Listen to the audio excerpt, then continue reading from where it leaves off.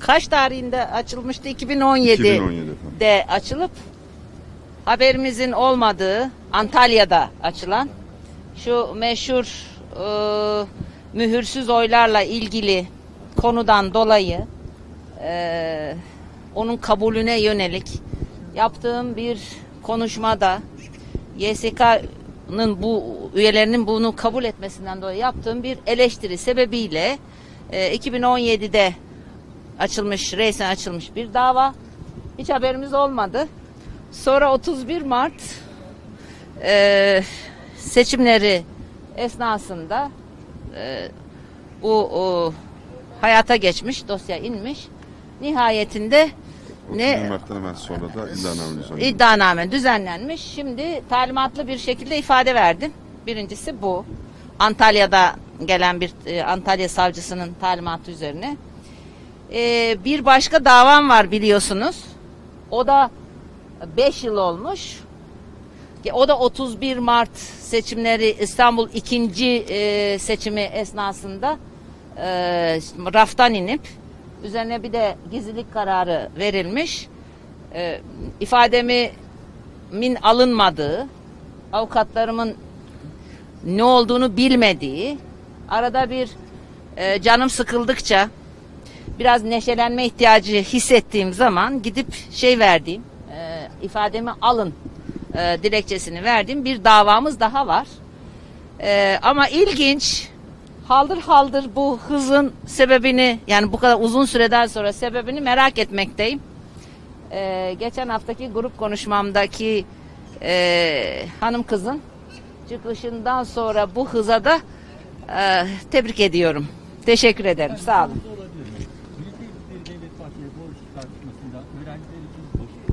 Programlar demiş ama bir akşam da ailelere seslendi. Evlatlarınıza sahip çıkın uyarısında bulundu. Nasıl değerlendiriyorsunuz? Bu konuda çok net bizim tavrımız. Şimdi gencecik çocuklar bunlar.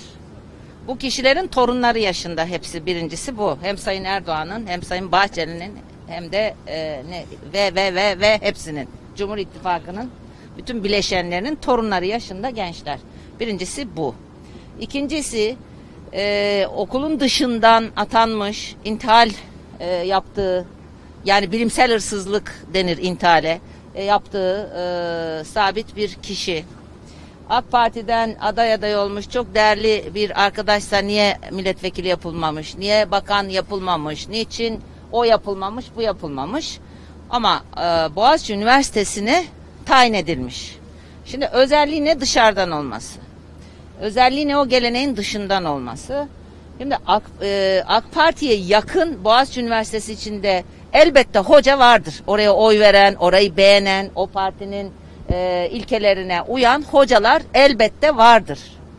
Onlardan değil de dışarıdan birinin atanmış olmasına biz dikkatle bakıyoruz.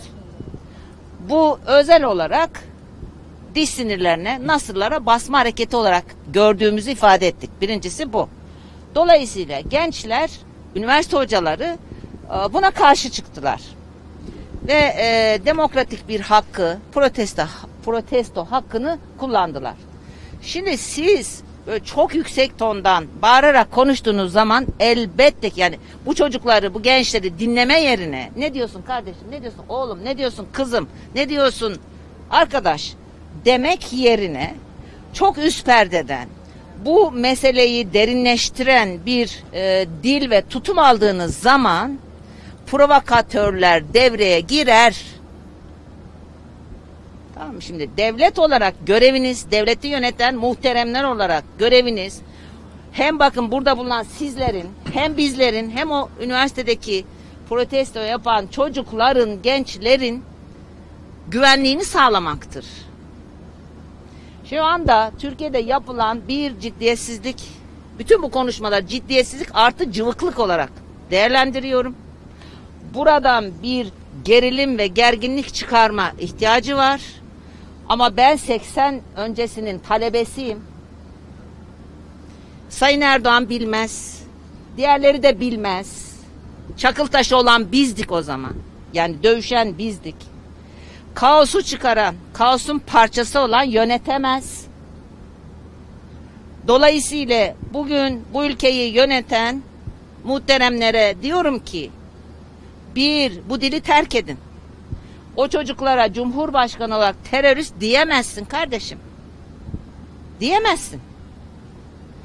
Dolayısıyla bu bir gündem değiştirme çabası ise de yanlış. O gençlere karşı tutum da yanlış.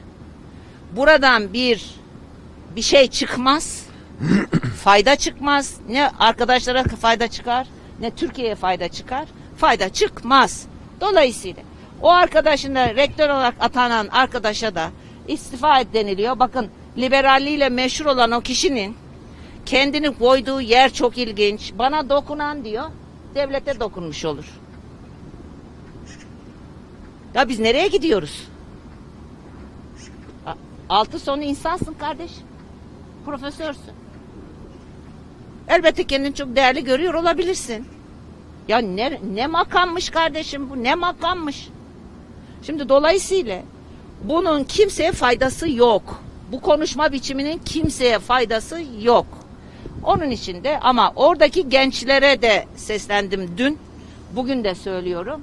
O gençlerin de onlara e, sağduyuyla, ciddiyetle, dikkatle yaklaşan yaşlı takım olmadığına göre, bu ülkeyi yönetenlerin her biri birer ergen haline dönmüş olduğuna göre gençler akıllı olmak, dikkatli olmak, güvenli olmak sizin göreviniz oldu.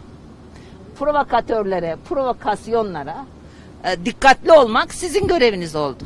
Maalesef.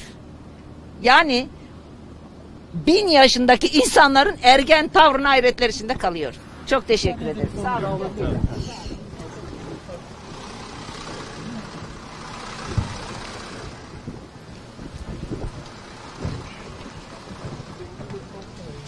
Dış kapıda bir adliye ek binası var. Orada bir tane vatandaş Haberleri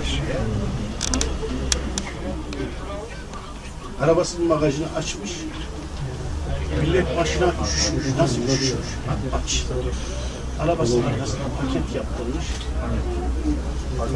Tavuk döneri, ayran veriyor. Tavuk döneri, ayran veriyor. Ne için veriyordu? Yanaşamadım. Adam bana da gördü. Bana dedi ki al dedi. Dedim abi benim arabam falan var. Teşekkür ederim ben. Ama neyin nesini? Boş ver dedi ya dedim. Ben de tabii pek üstüne durmak istemedim. Şey, hayır. Hayır. Bunların üzerine dizilmiştir. Adamın önüne diz çöküyorlar ya. Diz çöküyorlar. Yani bir 8 liralık, 9 liralık tavuk döneri için bu millet aslan gibi 20-25 yaşındaki delikanlı eğiliyor onun ayağının altına öpecek. Ya bu hale düştük ya. Ama sebep olanlar utansın. şey Utandıracağız inşallah. Bir şey? İnşallah. Bu, bu dönem geçecek inşallah.